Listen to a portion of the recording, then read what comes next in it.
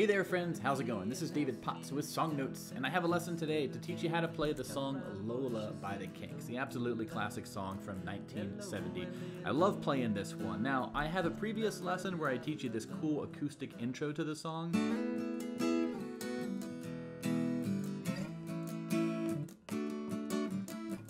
Right?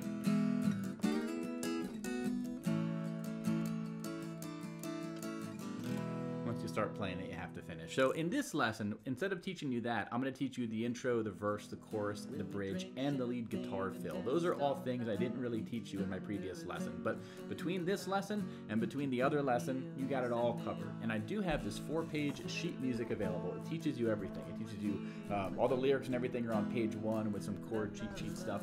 On page two, I get into the chord shapes, the chord progressions, the strumming patterns. Page three, I break down that acoustic intro that I covered in my other lesson. And on page four, I talk about the lead guitar fill that you do at the end of each chorus. So enough of that. Let's learn this song now, Lola by the Kinks, and uh, we'll be in good shape. All right, y'all, so let's kick this one off, jumping right into the intro to this song. So the chords we're going to need for the intro are a C, a D, and an E. It's pretty rare you have three major chords that are all a whole step apart, but here we are, right? Now, for the C, um, you can use the common voicing if you want, the regular open voicing. I think that the way they actually play it, though, is with this added G bass note, which means the third fret on the low E string, right? It allows you to play all six strings, which is nice. You don't need to worry about only playing the thinnest five. Um, it does require, though, you to get used to, instead of your ring finger being on the fifth string, you have to teach your ring finger to go to the sixth string and then bring your pinky finger in. So if you're just getting started and you know C, just use that, right? Only when you're comfortable with things do I recommend really going in for this full six string C. Then you'll need a D and an E, right? Regular open chords here. Now, the intro, um, I'll show you two things here. One is the sort of strumming, and then the other is the sort of timing of things, right? We're gonna be on C for about a measure and a half, right? One and two and three and four we're on D for just three eighth notes, a little less than a half measure. Um, I'll talk about that with the strumming. And then we're on E for two full measures. So let's look at the strumming we have mapped out here. We're basically on the C, we're gonna do a down, down, down, up, down, up. And then your next down strum's not gonna touch anything. You switch to the D, up, down, up, down on the E, okay? So one,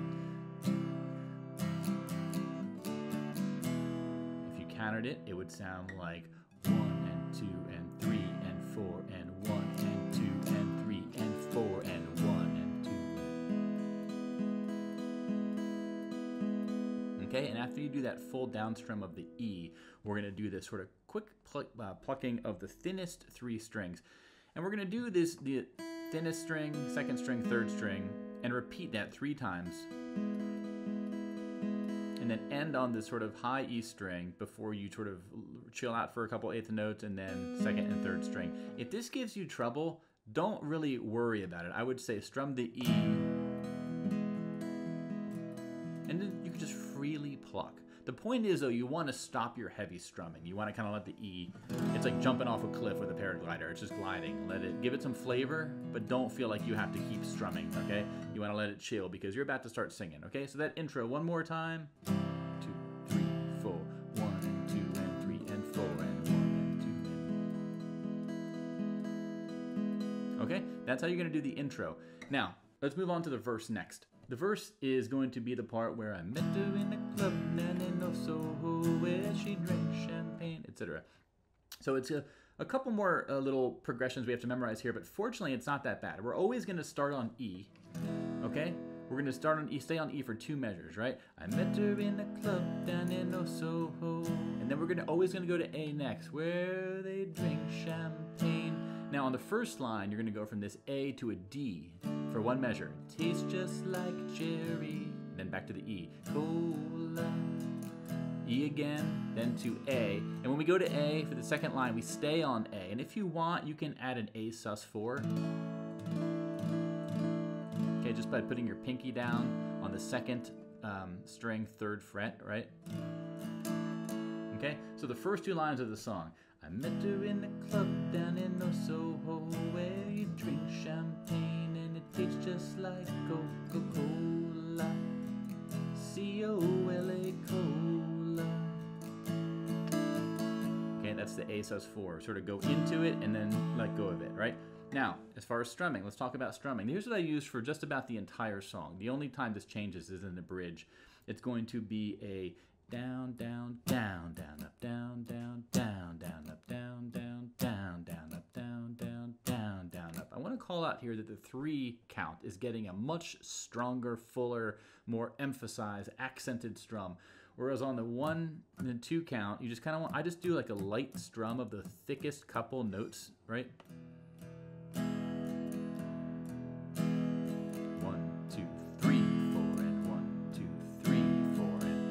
And, I'm going to do a down up. And I'll usually favor the thinner strings on that one. So one, two, three,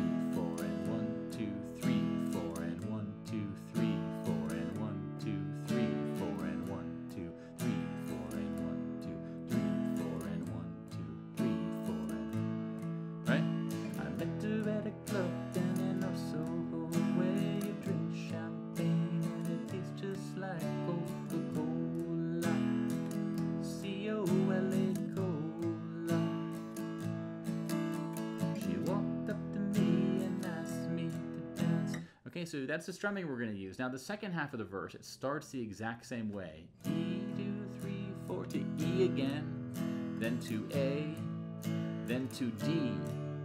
Then you repeat that line. L-O-L-A-Lola, A, then to D. And after that, after we play that line the second time, we're going to use the whole intro again. La la la la Lola. Then on E for four measures there. Okay? Now there is this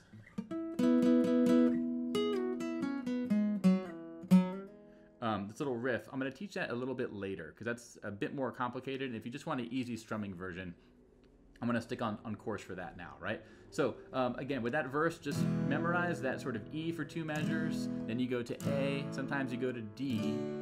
Other times you stay on A. Um, and it ends with that intro. And you can just stay on the E for the, the two or three measures if you don't want to do the which again, which I'll teach a little bit later. Okay, so that's how you're going to do the verse of this song. Now the chorus, we're going to need some different chords here. We're going to need a B. Okay, I'm doing the sort of two, four, four, four, right? This barred version of B. You either have to do this or you have to do a B up here, seven, nine, nine, eight, seven, seven, or you can just do the thickest four strings, seven, nine, but I'm going to do this B right here. Okay, it's a tricky chord to do basically barring these um, three strings, third, second, third, and fourth string with my ring finger. Right, I've seen folks play it with their pinky though. I think maybe I don't do that though. I use ring finger and then I use my left uh, index up here. I don't really try to make the thinnest strings sound out because that's a bit tougher. You have to bend your ring finger. So it's two, four, four, four. That's your version of B. Then you'll need an F sharp. Second, fourth, fourth, third, second, second. The good thing about this B and this F sharp is they're they're all on the sort of second to fourth fret region of the guitar. So you don't have to necessarily jump on the frets. You're kind of your index finger is already where it needs to be on the second fret. Okay? So practice this transition. That's going to be your uh, B and your F sharp. Then we're also going to need an A and an A minor. Okay? Now you could just play the regular open A and an open A minor. But if you want to, of course, you can do the barred A up here, 577, 655 and the A minor, which is 577 555. I pretend or I prefer to do the, the version over here. Now, we're to do B for two measures, right? So B, two, three, four, B, two, three, four, F sharp, three, four, F sharp. Then to A for two measures, and then A minor for two measures. And the words would be, well, we drank champagne and danced all night under electric candlelight. She picked me up and sat me on her knee and said, little boy, won't you come home with me? Okay, I'm using the same strumming, right? This down, down, down,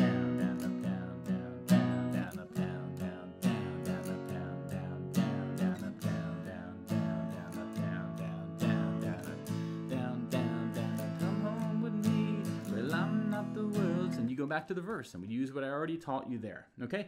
So after the verse, the only new part of the song we're going to need is the bridge, right? This is the part where it's going, uh, Well, I pushed her away.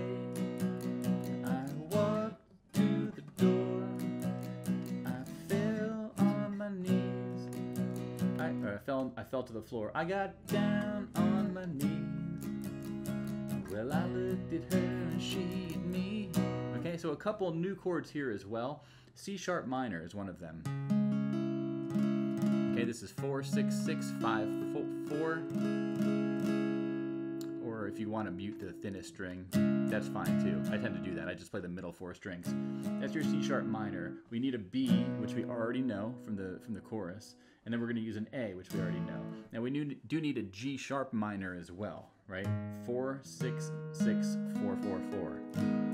This is basically just like F sharp minor, but just two frets higher. Okay? You're only going to need that once. So this part's a bit tricky. Now the rhythm here is, gets really tricky as well. So basically, we're going to be on the first two chords for three eighth notes each, right? Which is tricky. So it's going to, if you look at this, the way it's written out here, I have the, the circle, the, the highlighted notes in gray where you make the changes, right? Um, A, C sharp minor to B, so it's down, down, up, up, down, up, down, up,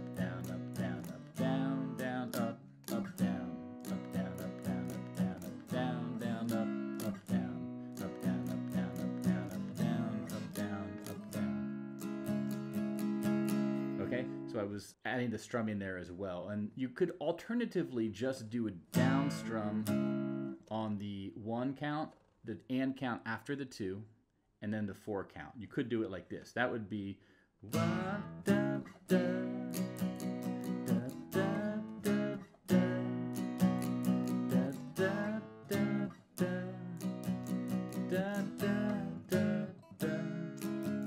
So what I'm doing there is a single strum on the A,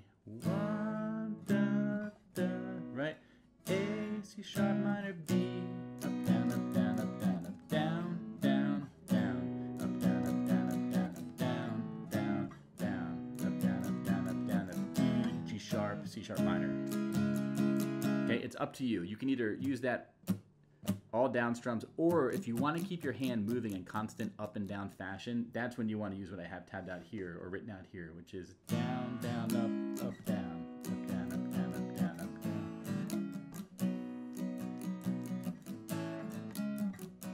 Okay, so that's a tricky little part there, but if you want to keep it really simple, just do a single strum on the A, the C sharp minor, and then the B, and then add some light filler strums at the end of the B, right? So to play the bridge, to play it in full. I pushed her away. I walked to the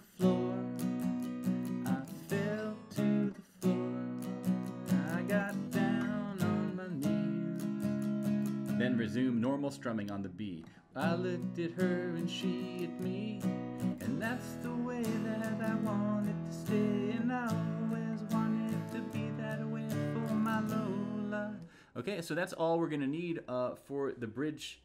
And with the bridge and the chorus and the verse and the intro, you have the entire song. Now you would want to follow along. I have again, my sheet music has all the lyrics for the entire song written out super carefully. This is all done by me with absolute care. Listen to the version of the song like 10 times to make sure everything is correct and perfect and every, everything. But this will give you the lyrics and all the chord changes. But again, it's just those three sections. Now, there's two more things I want to talk about. Really quick, this sort of like intro and verse instrumental. Um,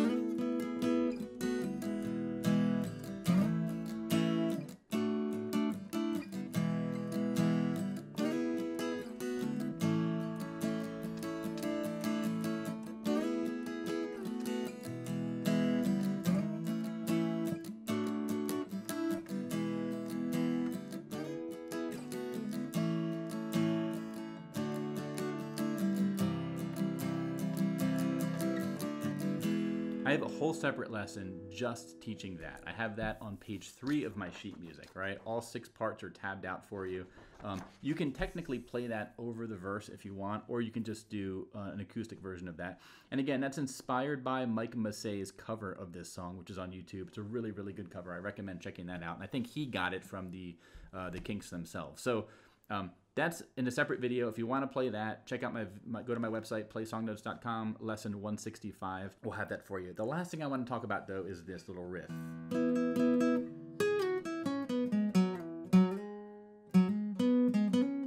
I'm sort of doing an acoustic version here that's a bit it's a bit different than what's played on the electric guitar in a few small ways. But let's talk about it and dive on in. And I'll tell you what they're playing on the electric. I just can't do it on my guitar because uh, it involves a really wicked string bend that I can't do. So the, the tab looks like this, and this is basically, um, again, this is the sort of modified version a little bit. It's simplified. Now, it starts off, basically we're going from a intro, C, D, and then we're on E for like four measures. That's when this is happening, right? Four measures of E. Now, what they're doing here is, the first part is, okay, low E string, very nice and easy. Then we're gonna bar the ninth fret with our index finger up here. Okay, of third and fourth string. And a really quick note here, and I have this on my sheet music here. I recommend thinking in terms of this chord, right? Open 11 9 9 9. Technically, this is an E major. Okay, it's coming from. It's kind of a combination of this voicing, right? This A voicing, A-shaped bar chord 7999. So if we take the 999 and then we add this note, okay, which is G sharp. So it's the third um, third tone in the E major chord, but we want to have a an E bass note. So the point is that all the riff you're going to be doing sort of coming from this hand position. And if you look at the fretboard diagram I have here, you can look at this sort of um, mapping of the pentatonic scale, right?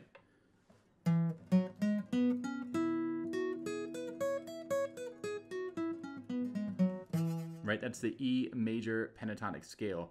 If you kind of think in terms of that scale position, everything in this riff you're about to play is going to be a little bit easier. Okay, so keep that in mind. Now, again, back to the tab. I sort of am barring here. Now this second part here, I do a, okay, slide from 13 to 11. The thing is though, the way they're playing it is he's bending this note.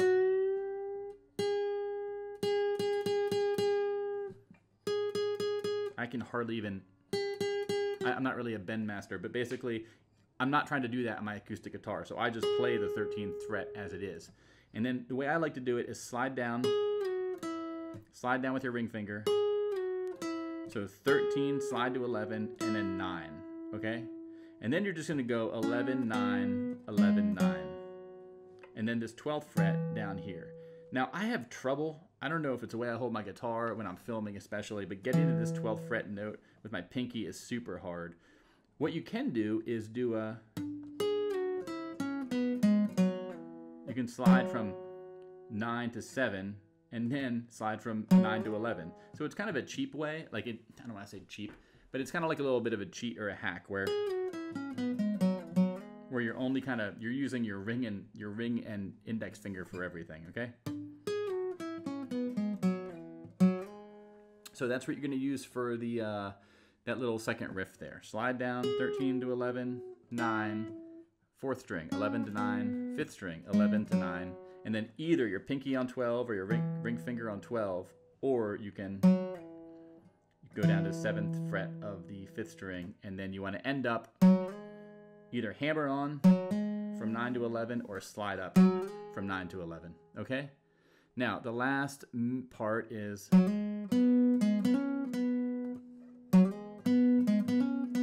Right? Whether you slide or you hammer on it's up to you. This is the slide or you could hammer on. If you do that, see how my ring finger is just sort of staying parked here on the ninth fret? That's nice and efficient, which is good. I'm not a, the greatest lead guitar player by any means, so um, use this as a starting point. Um, and that last measure and a half, you could just strum. And I say when I say that, I mean.